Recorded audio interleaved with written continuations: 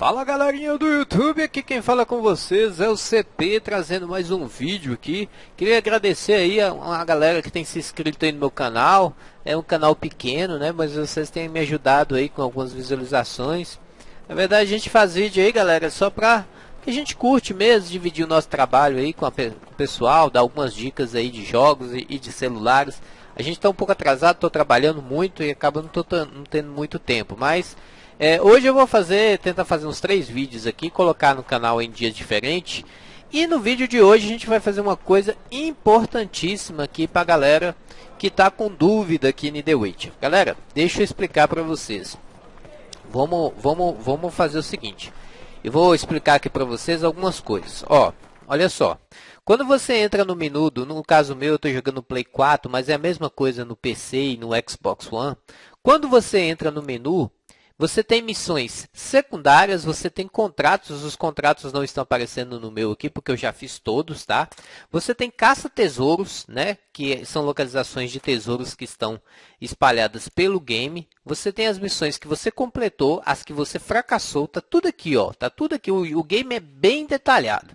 Só que esse game, ele tem pequenos bugs, né? Eles têm alguns defeitos. Por exemplo, essa missão aqui, deixa eu explicar para vocês. Essa missão aqui, ó, que eu estou aqui, ó, é, vou dar algum exemplo aqui. Essa daqui. Essa, por exemplo, tá?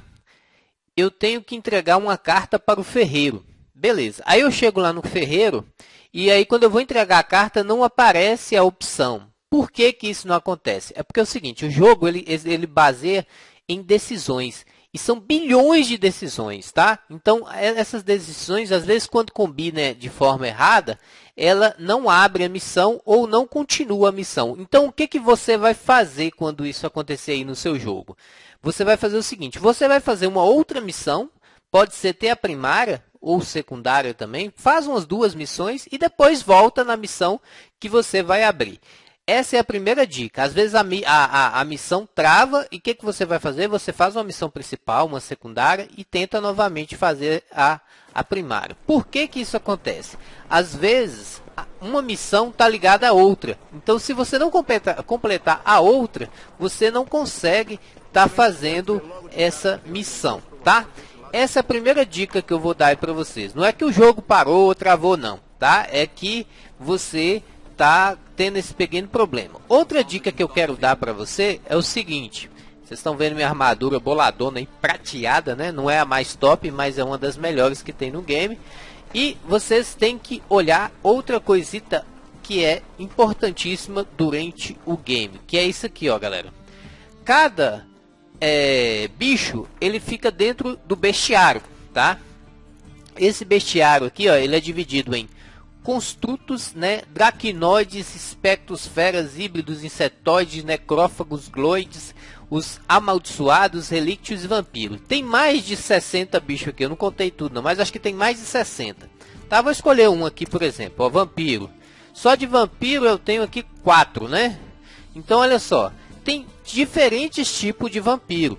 Esses vampiros, cada um tem sua fraqueza, sua habilidade, tá? Esse aqui, por exemplo, ó, eu vou enfrentar com ele com óleo de vampiro, tá? E a magia que eu vou usar é a magia que é magia de fogo, tá? E uma bomba, se eu quiser usar também, é um fungo demoníaco, tá?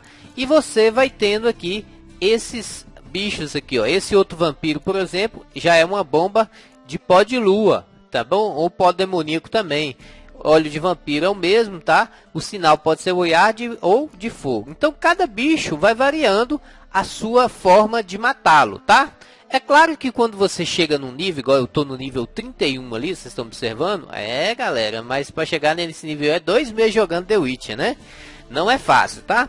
É, você tem algumas dificuldades aí para enfrentar alguns bichos no início, principalmente o grifo, né? Eu agora nesse nível é poucos bichos que ainda me dão trabalho, tá? Mas tem alguns ainda que me dão. Por exemplo, o, o, o grifo, né? Demora um pouquinho para matar.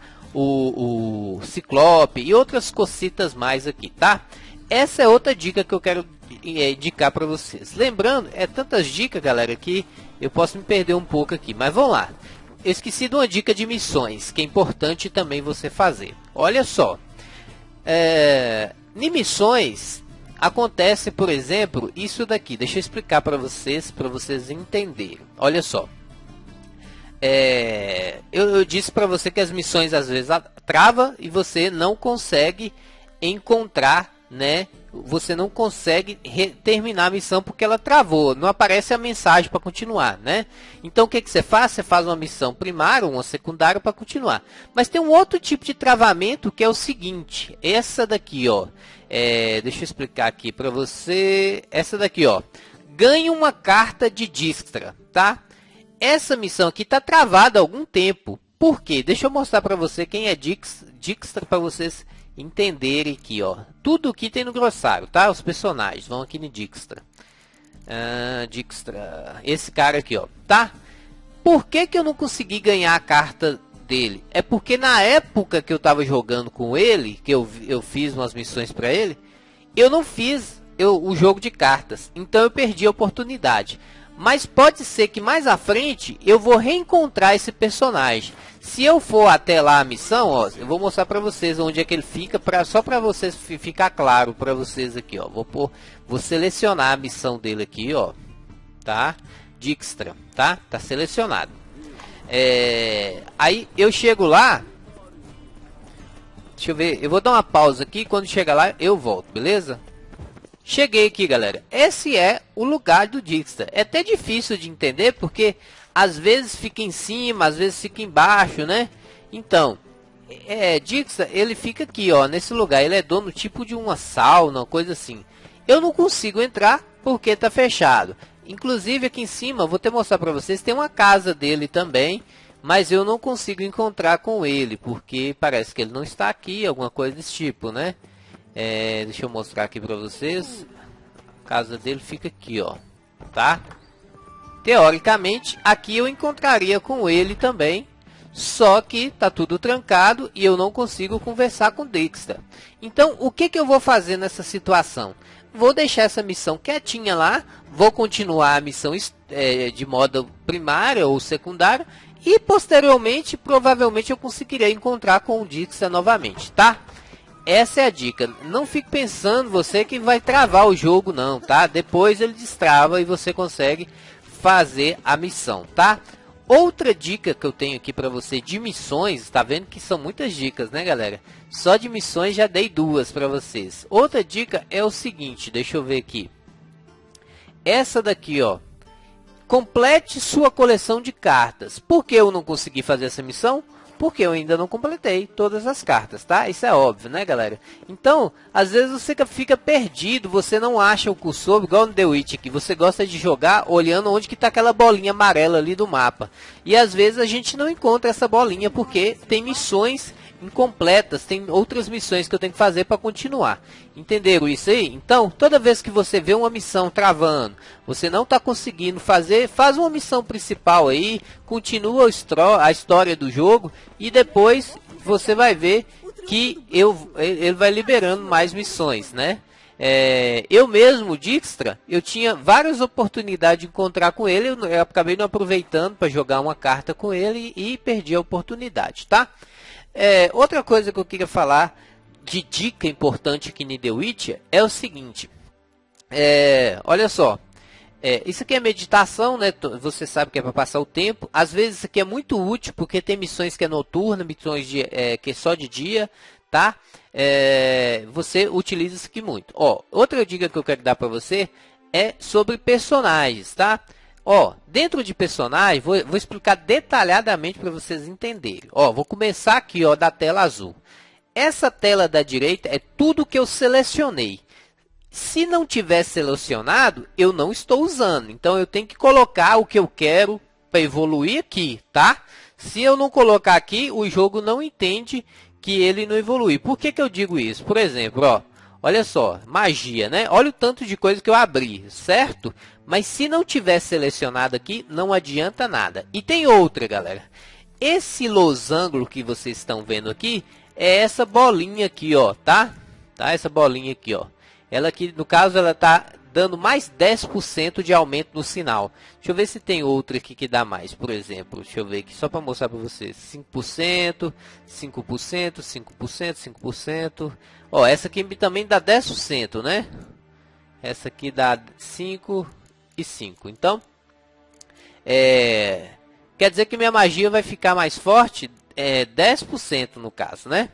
Então, o que que está acontecendo? Essa bolinha aqui, ó, tá? Ela é, ela é chamada de mutagênico. O que que ela serve? Ela amplifica o poder do seu interesse. Então, você seleciona o poder do seu interesse aqui, tá? E ela dá 10% de dano a mais para o seu personagem. Aqui a mesma coisa, essa daqui está amplificando essas três bolinhas daqui, tá? Essa daqui de baixo já é vermelha, tá vendo? Porque é relacionada à espada, então eu tenho que pôr um mutagênico vermelho. Essa aqui já é relacionada à vida, é, a, é, coisas que está relacionada a, especificamente ao personagem, como poções, é, capacidade de criar armas, tá? Isso aqui está ligada ao verde. Por isso que eu tenho um mutagênico verde, tá?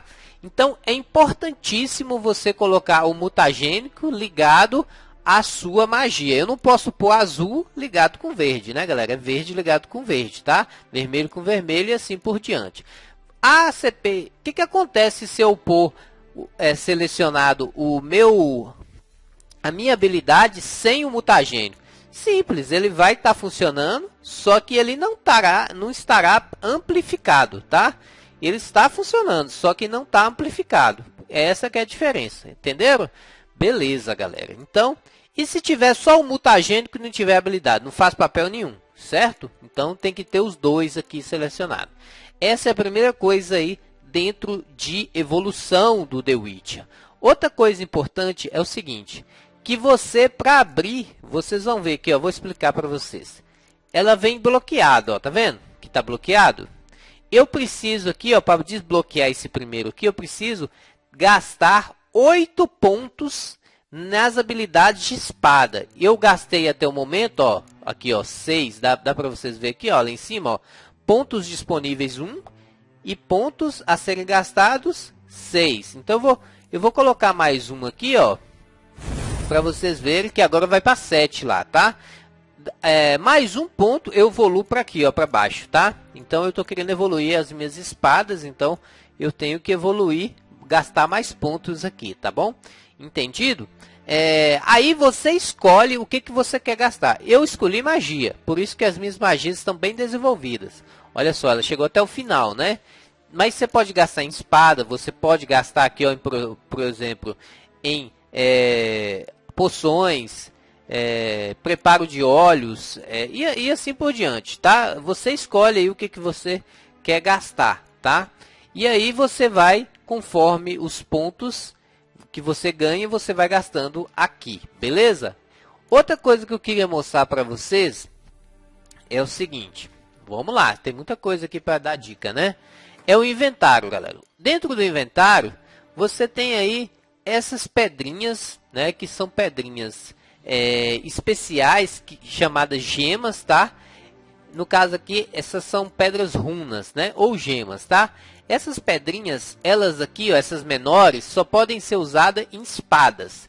E tem essas maiores aqui que são usadas em armadura. Deixa eu usar ali uma para mostrar para vocês, tá? É, na, na luva ali também vou usar.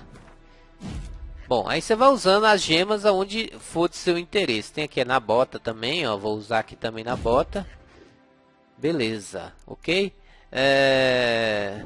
E assim por diante, tá? Vou usar aqui na bota para vocês verem, tá? E coloquei as pedrinhas.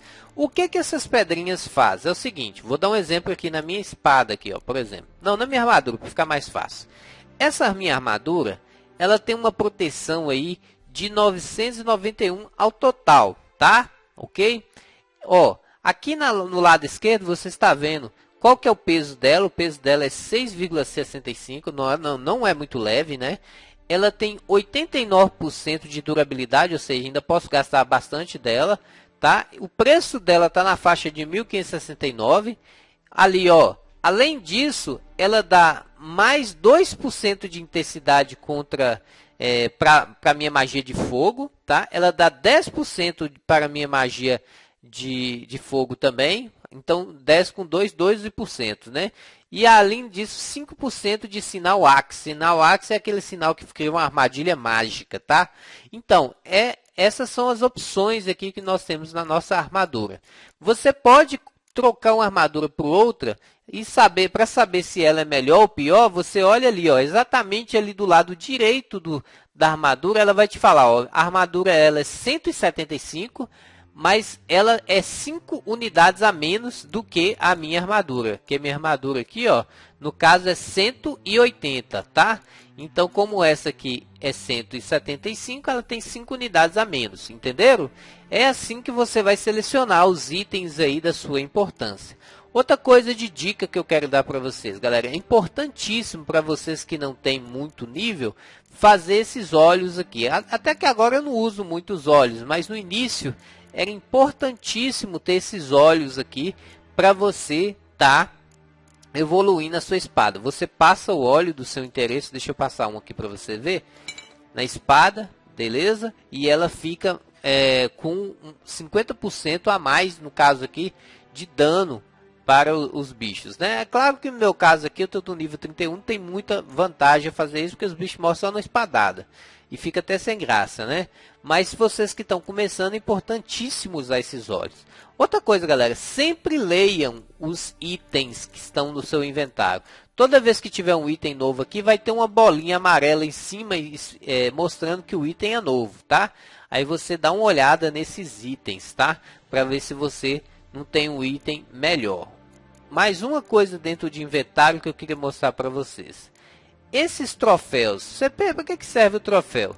Esses troféus são cabeças de bicho que você mata. Você coloca nessa opção aqui de baixo e ele serve para te dar experiência, tá? No caso aqui, ó, ele dá 5% de experiência contra monstros. Mas eu vou trocar esse troféu aqui, deixa eu ver se eu tenho outro aqui. Esse daqui, ó, ele dá... Eu tinha um de 10%. É, eu tô sem ele. Então põe esse 5 aqui. Acabei vendendo. Mas bota esse aqui ele serve para te dar alguma habilidade. Por exemplo, esse que eu coloquei aqui, ó, ele vai servir para me dar 5% de, de dano adicional contra os monstros que eu estiver matando. Esse aqui já é os alforge. Para que, que serve o alforge?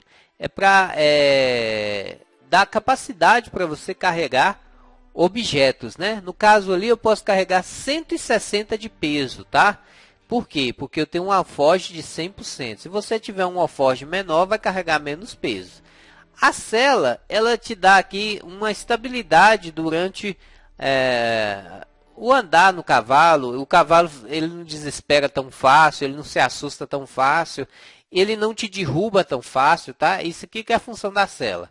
A viseira é um equipamento que dá uma, uma visão melhor para o animal e uma proteção maior para ele também, tá? Que às vezes o cavalo fica em pânico e com isso aqui ele fica mais relaxado e também é, dá mais proteção na hora do combate, que o, o cavalo também ele cai no pau na hora que ele briga, tá, galera? Beleza.